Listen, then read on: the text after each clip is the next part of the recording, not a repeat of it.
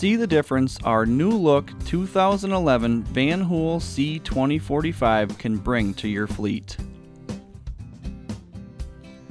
From the curbside, fresh body updates include a new one-piece integrated front bumper featuring new painted light bezels and adaptive aiming lights, stainless steel window moldings, taller baggage rub rails for improved durability, and easy access to the newly relocated battery compartment.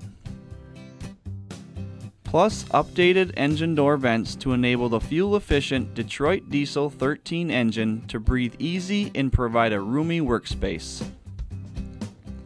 Passengers will board with ease via the newly curved and lit entry staircase, and drivers will appreciate the simple operation of an integrated instrument panel now offering a handy driver's map light.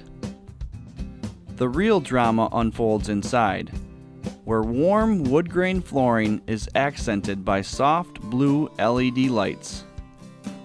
Overhead, a full end to end sky view glass ceiling will surprise and delight riders with maximized views. In transit, passengers can relax in comfortable, durable Van Hool bodyline seats featuring leather headrests and three point safety belts. They can freshen up in the onboard restroom, enjoy a good read with directed LED lighting modules, and stow and access personal items from curved, contoured racks above.